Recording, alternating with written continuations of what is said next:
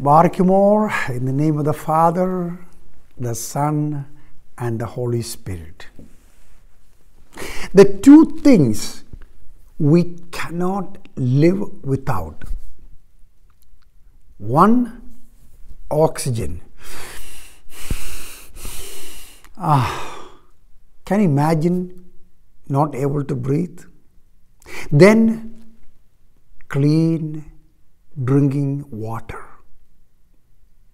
And one of the privilege God gave to believers Eastern Church for years and years now is to dig wells in communities whether they're Hindus or Muslims or Christians or atheists or whatever so that they can enjoy and live with clean drinking water. And we have produced thousands and thousands of wells where people get clean water.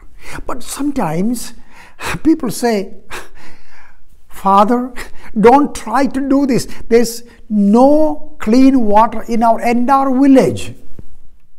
In one such village, a priest said, We'll pray.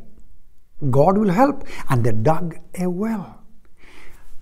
Believe it or not, first time in that small community, clean, sweet, precious water began to come out of that well.